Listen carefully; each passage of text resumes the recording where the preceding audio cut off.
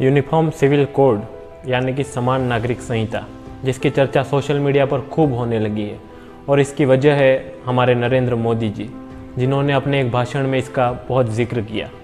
उस बात को आगे न बढ़ाते हुए हम ये समझे कि यूनिफॉर्म सिविल कोड होता क्या है। आइए जानते हैं।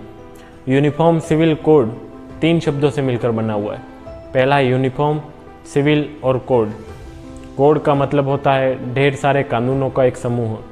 जैसे अपराध से जुड़े सारे कानूनों को इंडियन पिनल कोड में रखा जाता है, यानी कि भारतीय दंड संहिता में इकट्ठा किया गया है, जिसे हम आईपीसी भी कहते हैं। यूनिफॉर्म का मतलब है एक समान, एक तरह से जैसे स्कूल में अलग अलग बच्चे एक ही रंग डिज़ाइन के ड्रेस पहन के आते हैं, उनमें एक रूपता होती है।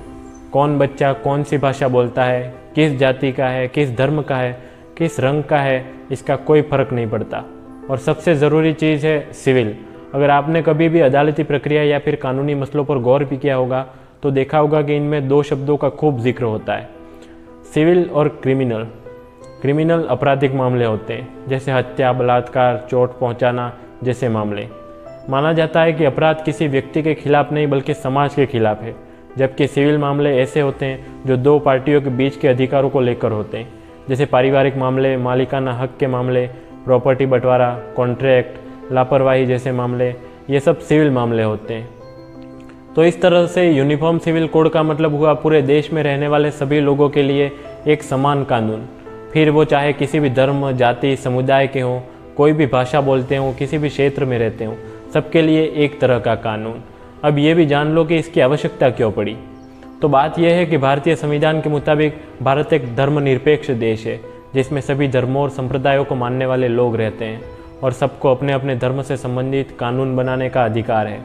फ़िलहाल भारत में दो प्रकार के पर्सनल लॉ हैं। पहला है हिंदू मैरिज एक्ट उन्नीस सौ छप्पन, जो कि हिंदू, सिख, जैन और अन्य संप्रदायों पर लागू होता है। और दूसरा, मुस्लिम धर्म को मानने वालों के लिए लागू होने वाला मुस्लिम पर्सनल लॉ ऐसे में सिर्फ़ मुस्लिम को छोड़कर बाकी सभी धर्मों और संप्रदायों के लिए हिंदू मैरिज एक्ट उन्नीस सौ छप्पन लागू है।